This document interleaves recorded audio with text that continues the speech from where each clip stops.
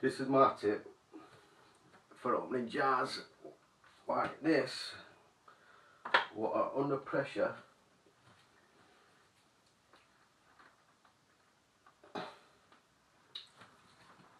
And it just won't open because they're under pressure. I'll try it this way because if it does it,